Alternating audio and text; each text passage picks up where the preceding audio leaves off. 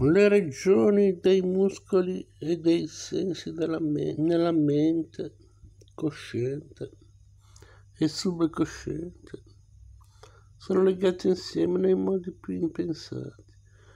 In realtà il cervello ha un numero enorme di piccoli nervi che legano due segmenti di nervi tra loro e attraverso i quali su, su tutte le parti della mente cosciente e subconsciente sono messe in contatto con le altre parti. Circa 10.000 milioni di fibre di associazione partono dalla mente cosciente e subconsciente.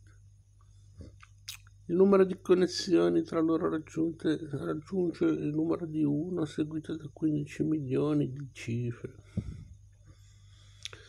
Per stampare questo numero occorrerebbe la carta che è servita per stampare 15 copie di questo libro.